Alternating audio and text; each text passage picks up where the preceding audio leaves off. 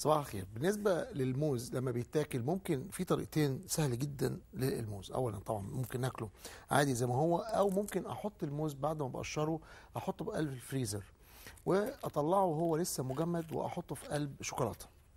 تبقى طريقة ظريفة.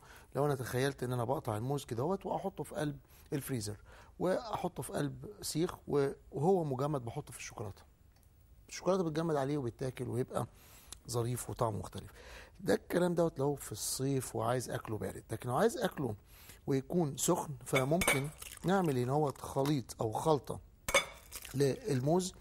بجيب بيض وأستعمل مع البيض دوت شوية من جوز الهند المبشور شوية جوز هند مبشور ومعاهم شوية من النشا. على أساس بعمل عجينة أو خليط. ومع النشا ممكن تكون قد كمية النشا دقيق. نحط شوية هنا من الدقيق. بعمل خليط أو عجينة اللي هي ممكن تكون غشاء خارجي أستعمله وأسوي فيه الموز. بعد ما بخلط العجينة ديت وأتأكد إنها كلها اندمجت مع بعض بضيف حبة صغيرة من الحليب. مش كتير شوية صغيرين لكنها بانكيك بس أسمك واغلظ شوية. نقلب كل الخليط ده. وبعدين بنجيب قطع الموز نفسها نقلبها هنا اهو. تأكد إن الخليط زي ما قلت إن هو سميك شوية فممكن نضيف عليه شوية تانية هنا اهوت من الدقيق شوية تانية من جوز الهند وشوية صغيرة من النشا. لغاية لما أوصل للمرحلة اللي أنا حاسس إن لما أحط الموز هتتماسك العجينة فيه أو هتمسك في الموز. بعد ما قلبتها كده اهو نجيب الموز المتقطع. نجيب قطع الموز نقطعها انصاص وبعدين نجيب السياخ. أنا أجيب السيخ هنا أهو وبحط الموزة هنا بحيث إنها تتغطى كلها. يبقى نغطي الموزة ديت بالعجينة أو ممكن أسويها وبعدين أحط السيخ. يعني ممكن أعملها كده أو أعملها بالطريقة التانية. نجيب قطعة الموز ونحطها هنا.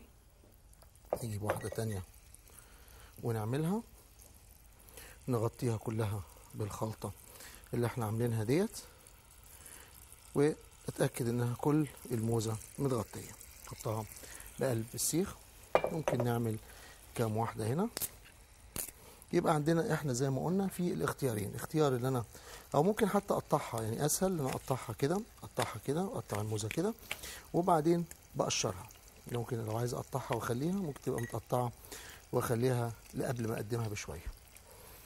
ونلفها في قلب العجين نحطها نقشر واحدة كمان.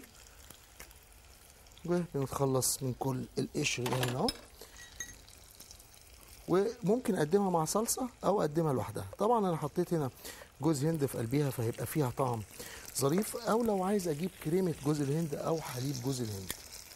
نمسك الموز بيبقى ده الشكل بتاعه. سيبها لغاية لما تنشف وبيبقى مهم جدا إنها تبقى مقرمشة على أساس تبقى ظريفة. يعني من جوه بتبقى طرية على أساس هي ده الموز ومن بره بتبقى ناشفة. تسيب دول يستووا شوية. ولو مع بقدمها الأطفال أراعي إن أنا ما بحطش كل العصاية يعني عشان ما يمسكوهاش من العصاية ما يتلسعوش. نجيب قطع الموز دي هنا أهو نحطها في قلب الطبق اللي أقدمها فيه. ده بيكون الشكل بتاعها. ولو حبيت ممكن يبقى عندي اختيار تاني. نطلع الاثنين دول اهو.